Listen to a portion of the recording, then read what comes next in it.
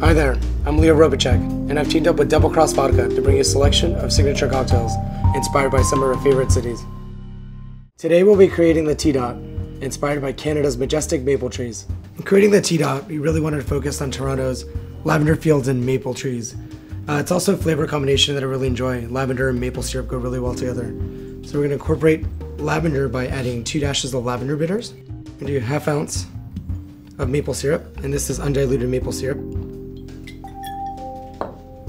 Half ounce of lemon juice. Three quarter ounces of grapefruit juice. It does add a bitter tone, but it rounds out the cocktail very nicely. And then we're gonna do two ounces of double cross vodka. Go ahead and shake the drink.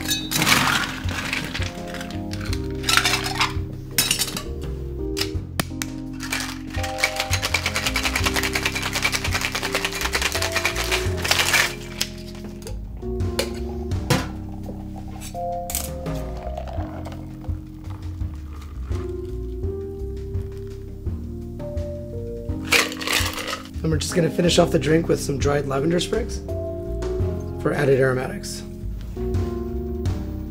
Yeah, the T Dot. Enjoy.